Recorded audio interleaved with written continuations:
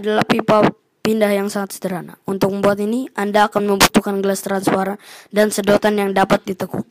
Dengan gunting, buatlah lubang di dasar gelas. Kemudian, ambil sedotan yang bisa ditekuk dan perbaiki ujung sedotan yang panjang di gelas. Sedotan harus diperbaiki dengan erat. Jangan sampai ada kebocoran antara sedotan dan gelas. Anda juga dapat memberi sedikit lem untuk mengeratkan sedotan. Sekarang isilah air ke dalam gelas. Awalnya tidak akan Anda berubah, tetap tambahkan airnya. Masih tidak ada yang terjadi. Setelah air melewati atau sampai pada lekukan pada sedotan, aliran air yang cepat akan menuruni sedotan. Pipa pindah ini sangatlah sederhana. Nikmatilah air ini dengan mena nikmatilah air ini dengan menambahkan warna.